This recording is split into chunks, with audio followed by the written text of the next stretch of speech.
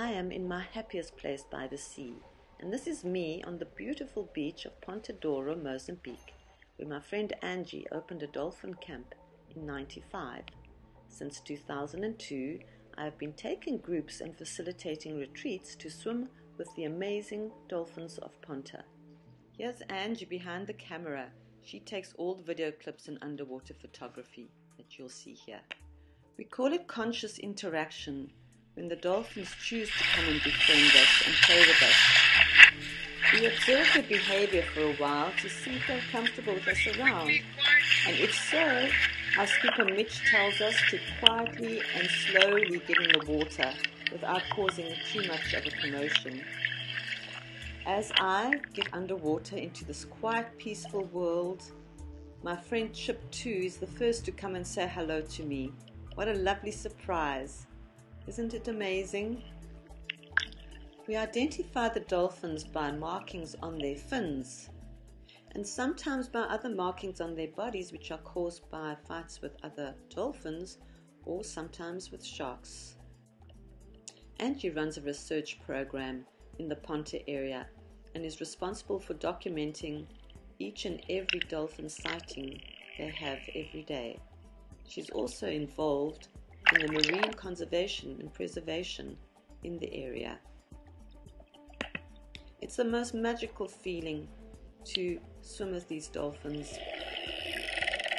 They like to play with their prey, just like cats do.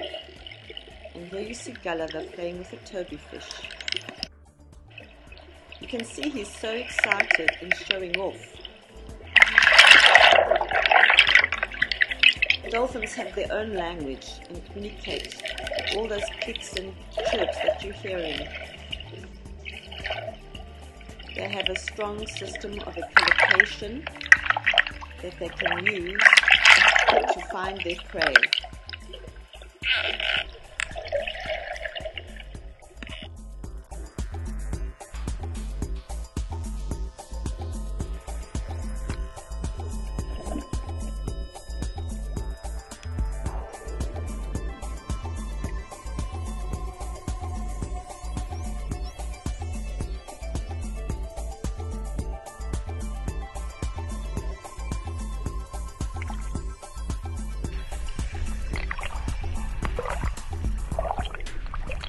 Gulliver decides he's had enough of playing with the fish and then throws it to me as though I was a dolphin and could jump high into the air to catch it.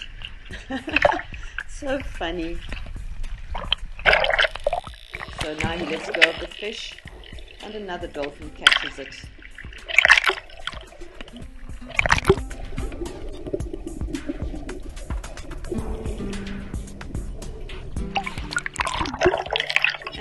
The fish is eaten.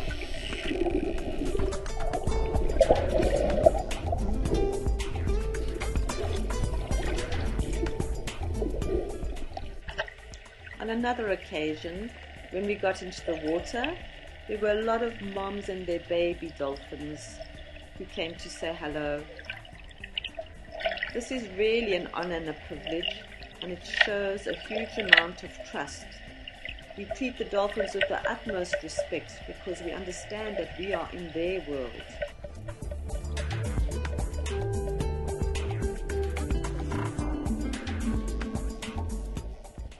So there you have it. That's just a little bit more about me and my life with dolphins. It's a very special part of my life and I love these dolphins. They are amazing, intelligent, and so much fun. See you soon, and don't forget to play a little bit sometimes, just like the dolphins.